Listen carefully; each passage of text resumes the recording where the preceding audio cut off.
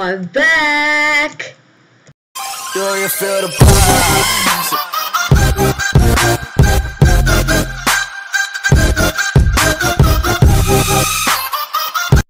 What's up guys, my name is Tech Trilogy and welcome back to another video guys. Today in this video I'm going to show you guys how to duplicate Minecraft items in 1.11.2. Guys, this um, glitch has been going on for ages, but anyways, let's get started on this video. So first of all, what I want you guys to do is get the item that you want to duplicate.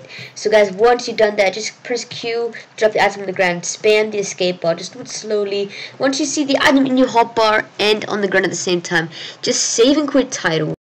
Then log back into Minecraft games, guys. Once you've logged, uh, once you've logged back into the Minecraft game, you should get a duplicate item, guys. Also, guys, um, also I know I'm in creative, but uh, I, I just forgot to turn into survival. So, guys, hope you guys enjoyed this video. If you have, please hit the like button down below. Remember to hit the subscribe button. And also, guys, if you haven't hit the subscribe button already, please so do. And I also do Roblox hacks as well. And guys, remember I also say I am back. I'll see you dudes in the next video. Peace out.